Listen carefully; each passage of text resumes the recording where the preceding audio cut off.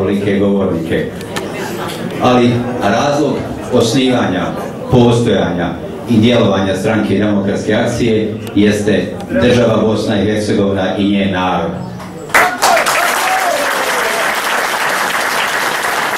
Zato sve što radimo na bilo kojem nivou vlasti, od općinskog, kantonalnog, entitetskog, državnog, jeste podređeno osnovnom cilju, a to je očuvanju Bosne i Hercegovine, naše jedine domovine.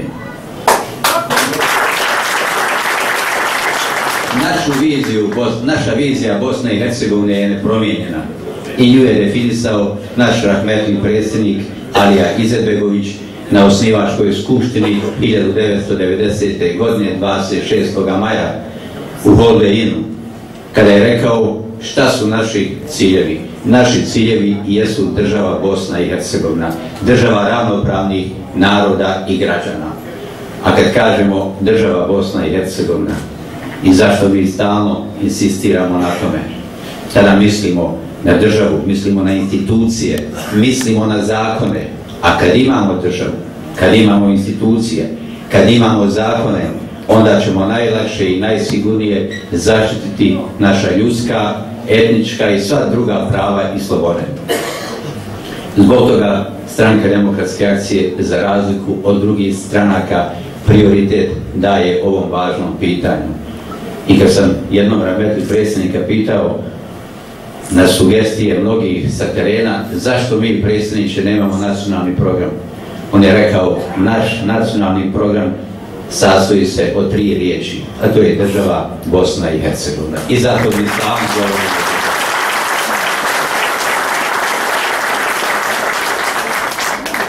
Koja je razlika između stranke demokratske akcije i drugih stranaka i zašto glasati za stranku demokratske akcije?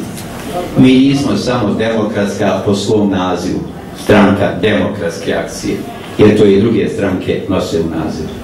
Mi nismo demokratska samo po pravilima, po statutu stranke demokratske akcije. Mi smo demokratska po svom načinu rada i djelovanja.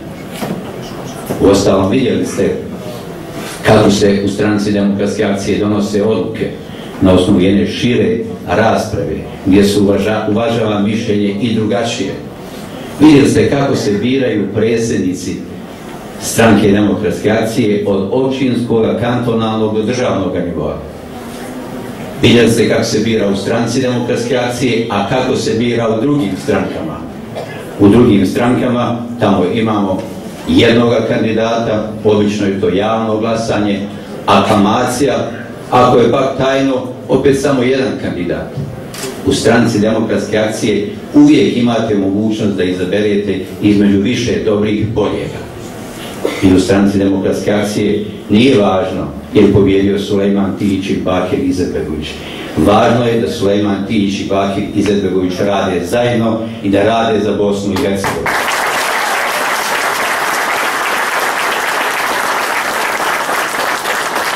Vidjeli ste ove stranke, to su uglavnom društva jednog lica, gdje predsjednik stranke maltene određuje sve.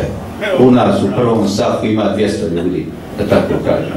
Sulejman Tinić je taj koji predlaže i provodi politiku svih onih koji zajedno učestvuju u kreiranju politike. U i drugih stranaka to nije tako. Vidjeli ste u ostalom kako oni rade i funkcionišu. Imamo jednu i privatnu stranku.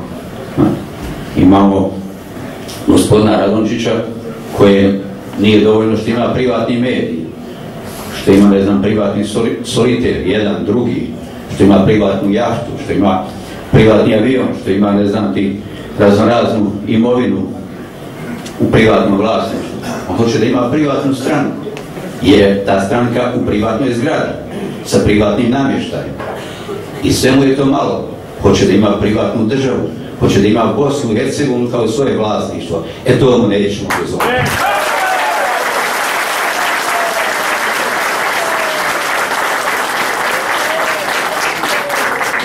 Istovremeno, a radio je sve i radi da zavadi bošnjake, da okalja ugled i ove prizma tog bošnjaka, pa i ovoga sada sa kime on najviše surađuje, s kim pravi neke nove parlamentarne većine. Mi poštujemo sve bošnjake, Bosna i Hercegovina je otvorena za sve bošnjake iz cijeloga svijeta. I bošnjake iz Sanđaka i bilo kojeg dijela. Međutim, ne može gospodin Radončić biti mjera vrijednosti. Da on postavlja mjeru vrijednosti koliki je ko musliman, koliki je ko bošnjak, koliki je ko patriota. A on to radi. Mi mu to ne smijemo dozvoliti. Dame i gospodo, politička situacija u Bosni i Hercegovini je složena, da tako kažemo s onom frazom, sa tendencijom stalnog usložnjavanja. Pobjedile su dvije socijaldemokratske stranke. Jedna u Republici Srpskoj, koja otvoreno negira državu Bosnu i Hercegovini. I čini sve ono što može da čini i što je drugi omogućavaju da umanji značaj države Bosne i Hercegovine. Na drugoj strani imamo socijaldemokratsku partiju koja radi i djeluje na štetu Bosne i Hercegovine. Mi imamo, pazite, imamo dvije godine su prošle od prošlih izbora, a u Bosni i Hercegovini nije formirana vlast ili ako je formirana kao što je u federaciji, kao što je na državnom nivou, ona je u tehničkom mandatu. I upravo zahvaljujući jednoj nerazumnoj, nerealnoj, uskostranačkoj politici koju predvodi gospodin Laguđija na čelu SDP-a. Ja sam bio prvi u stranci demokratske akcije koji je bio za koaliciju sa SDP-om. Računao sam dvije velike stranke, dvije bosanske stranke, napravit će dobro za Bosnu i Hercegovinu. Međutim, nažalost, brzo sam se razočarao. Vidio sam da ti ljudi, da li je to zbog toga što su toliko u opoziciji, sva njihova politika jesu kadrovska rješenja. Koga će smijeniti, koga će postaviti. Samo se o tome pričalo. Nije važno uopće taj što se smjenjuje je dobar, je kompetentan ili nije kompetentan. Važno je da dođe neko iz SDP-a ko će biti njihov poslušnik. I jedina je priča o poslovima, o tenderima i tako tako. Evo, 11 godina sam predsjednik stranke demokratske akcije. Volio bi da nađete bilo kojega načelnika, bilo kojega direktora javnog preduzeća koji će kazati da je Sulejman Tirić rekao da se taj posao da, ne znam ti tom ili tom preduzeću. To ja nikada nisam radio. Međutim, ovim ovim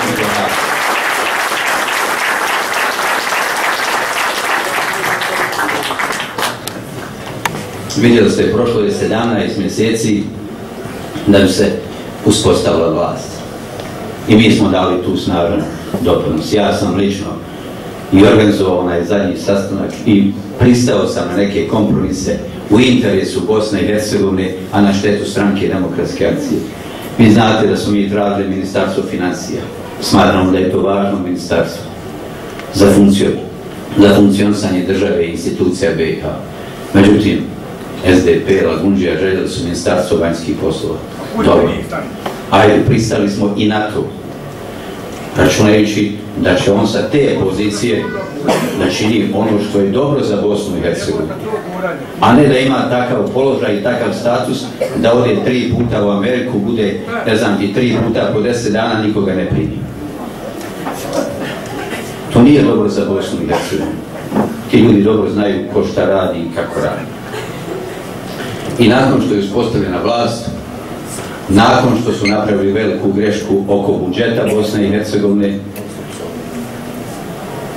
koji SDA normalno nije mogla podržati, jer se radilo o budžetu koji je manji nego budžet prije dvije godine, dozvolili su da rastu budžeti entiteta, a budžet Bosne i Hercegovine je zamrznut na manji iznos i zamrznut u naredne tri godine. Ja sam tada rekao, gospodinu Lagunđiju, preko Zlatko, ako ste na to pristali, onda daj da uzmemo ključ da zaključamo Bosnu i Hercegovinu, jer sa ovim parama to ne može funkcionisati. I vi, jer ste u ostalom, nisu imali para da platimo avione, gorivo za avione da gase požare. I umjesto da odgovara zbog toga, on je pokrenuo proceduru izbacivanja SDA iz vlasti.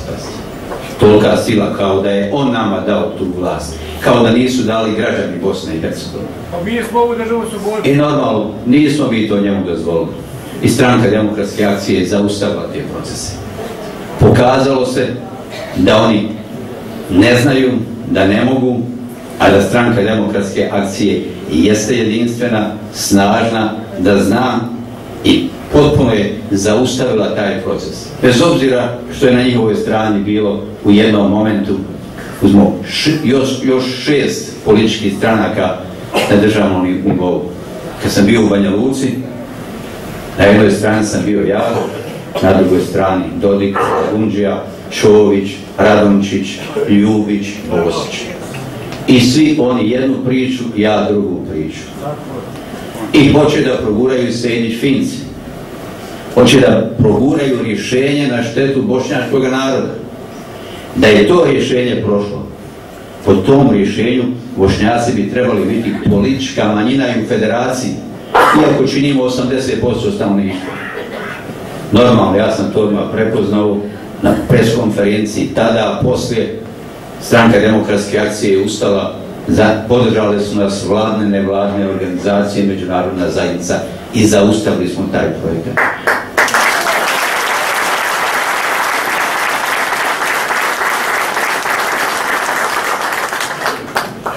Oni su zarad ličnih uskostranačkih interesa, kako bi očuvali pozicije, kako bi udovoljili HDZ-u, bili pristali na jedno takvo rješenje. I ja se bojim da oni od toga rješenja još uvijek nisu odustali.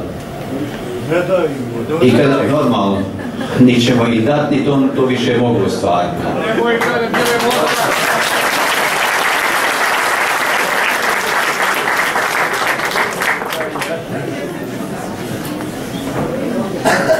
Kako mogu djevot možda ti mi reći? Dame i gospodo, vi slušate veoma često oni koji kritikuju stranku demokratske akcije pa kažu SDA je na vlasti 17, neko kaže 20, neko kaže 22 godine. Pa sve što ne valja mi smo krivi. Sve što ne valja mi smo krivi. Ako smo mi krivi sve što ne valja i što nije baš onako kako treba, onda treba da kažu da je SDA zaslužna što imamo državu Bosnu i Hercegovinu. Treba da kaže da je SDA zaslužna što imamo jednu vojsku, što imamo jednu obavještajnu službu, što imamo jednu carinu, što imamo SIPU, sud, tužilaštvo, što imamo jedan pasoš, ličnu kartu, vozačku dozvolu, tablice, sve ono što nismo imali.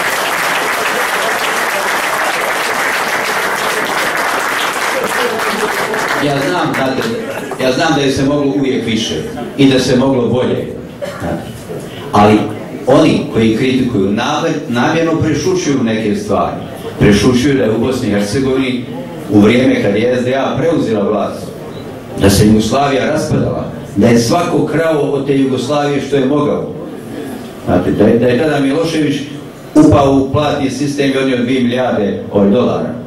Ne znam šta su ove druge republike sve uzmale. Bosna i Hercegovina je bila u sredini. Oni jednostavno ne pominju da je u Bosni i Hercegovini bio rat. Da su imali 200.000 žrtava. Da je jedna trećina stanovništva protjerana za svoje ognjišta. Da je sve porušeno, popaljeno od gradova, tvornica, mostova, pruga, puteva i tako dalje. I ne pominju da onaj dan kad Izetbegović došao da radi, prvi radni dan da imao penzionere. Penzionere koji su tražili penzije, jer u fondu nije bilo ništa. Ne pominju da smo 1995. godine u tako jednoj razrušenoj državi Bosni i Hercegovini do današnjih dana uspjeli obnoviti državu, obnoviti infrastrukturu, obnoviti naše gradove, da smo uspjeli ipak osigurati penzije za 400.000 penzionera, invalidnine, boračke naknade, naknade za neratne invalide, da mi sada u Bosni i Hercegovini, ja znam da je to malo, da su penzije male, da mi nismo borce naše nagradili onako kako treba, ali naše prosječne penzije, naše prosječne plaće su veće nego penzije i plaće u Srbiji, nego u Rumuniji, nego u Bugarskoj. Pa i to je zasluga stranke demokratske akcije. Trebalo je iz ničega napraviti nešto.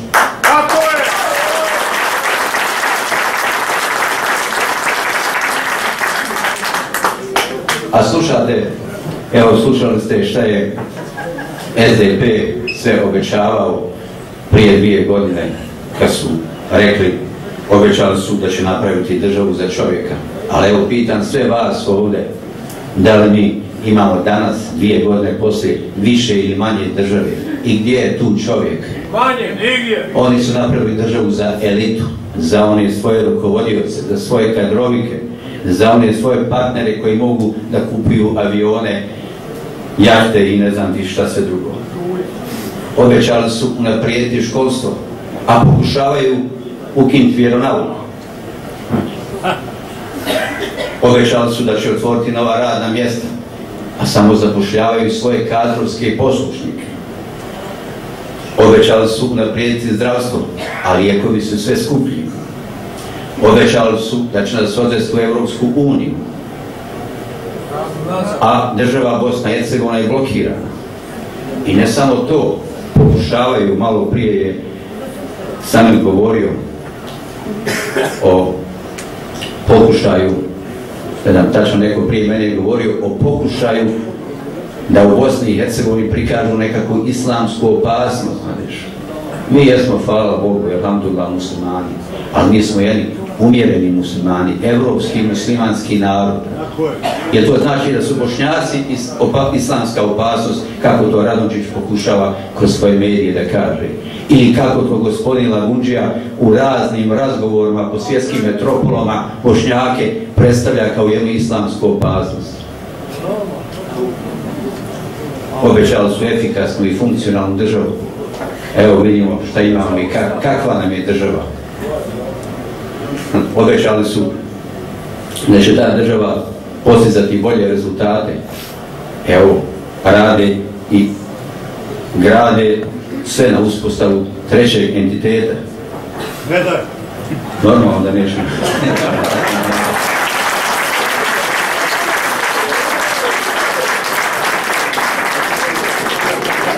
obećali su, obećali su da će se boriti protiv kriminala. A vidite, cijelo vrijeme pokušavaju policiju da stavi pod političku kontrolu, da bi zaštitili svoj kriminal i svoje kriminalce. Bez obzira što je upozorava i američki ambasador i Evropska unija i OHR i svi drugi, oni uporno rade na tome da uspostave politički nadzor nad policijom. Normalno, nećemo i ni to dozvoliti. Umjesto jačanja javnih preduzeća, rade na pripremama za prodaju telekoma, za prodaju tvornice duhana, za prodaju energoinvesta. Znate, malo im je ono što su prodali u vrijeme alijanse za potjeve. Statistike pokazuju da u vrijeme alijanse za potjeve za samo dvije godine on su prodali 80% male i srednje privatizacije. I ove velike ova velika preduzeća koji smo mi sačuvali, oni sada planiraju da prodaju i da sa tim parama sebi kupe još jedan ili dva mandata. Normalno nećemo im dozvoliti.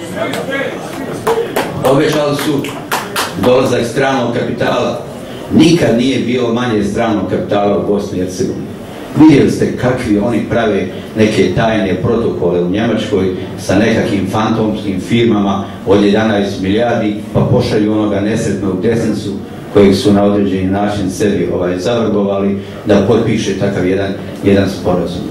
Vi znate koliko smo se mi borili protiv SB kada su htjeli uvesti neke strateške partnere na mala vrata bez javnih tendera. A oni su to uradili u nekakvoj tajnoj misiji, svakako zarad nekih svojih interesa.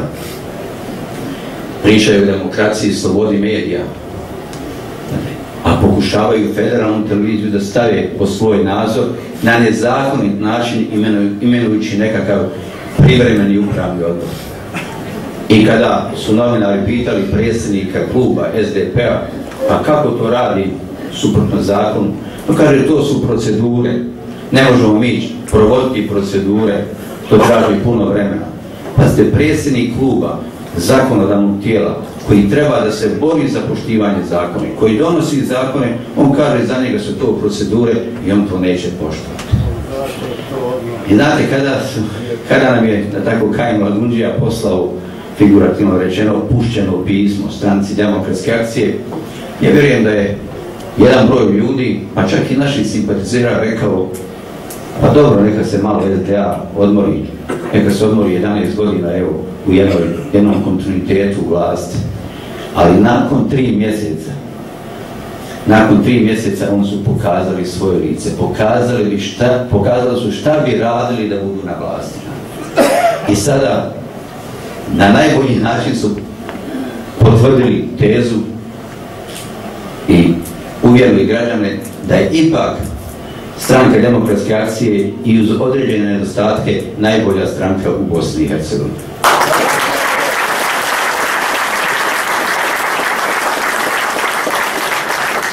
Obećali su da će od federacije napraviti zapadnu Njemačku. A kako stvari stoje, kako se ponašaju, prije da će napraviti sjevernu Koreju.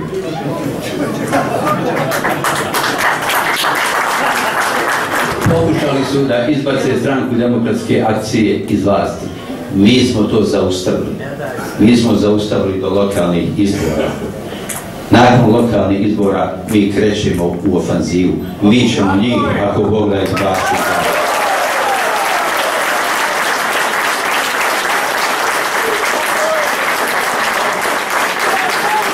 Dame i gospodo, ja se pridružio izlaganju predsjednice da asocijacije žena ili mladih ovdje koja je govorila i pozvao bi vas sve da kad budete glasali, da glasate za žene, da glasate za mlade. To je naša politika. Mi vodimo jednu principijelnu politiku, smatramo da i žene i mladi, da je to jedan dio stranke demokratske akcije koji još nije adekvatno zastupljen, da treba biti još više zastupljen, ne samo u organima stranke, ne samo u zakonodavnim tijelima, nego isto tako i u izvršnim tijelima, u ne znam, općinskim izvršnim tijelima, kantonalnim i tako.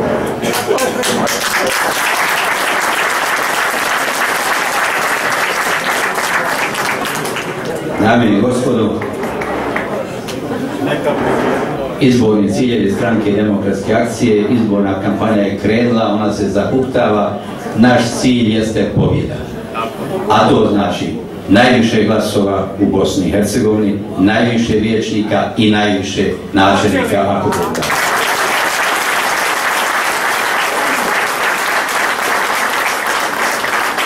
Došao sam ovdje u Sanski most i normalno, evo slušao sam, vidio sam vaše kandidate, za općinsko vijeće. Sve su to relativno mladi ili mladi ljudi kompetentni sa jednim bogatim radnim političkim iskustvom. Pozvao vas da glasate za listu koju predvodi Saner Mahić, za listu stranke demokratske akcije i da glasate za načelnika Mustafu Abdavića.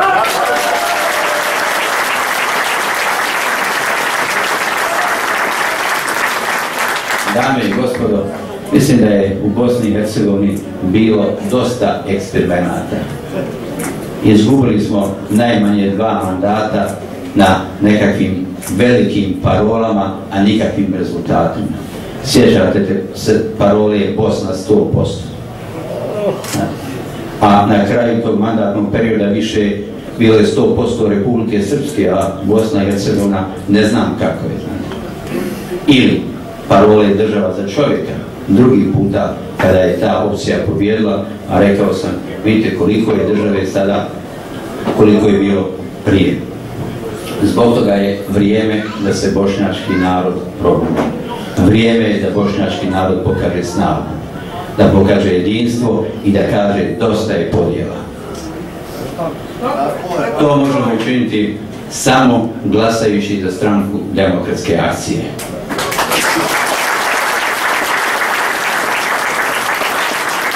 Politička situacija je teška. Vi danas, odnosno 7.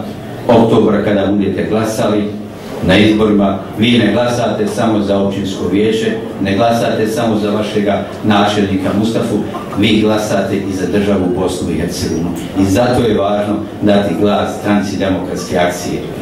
Glas za SDA jeste glas za BiH.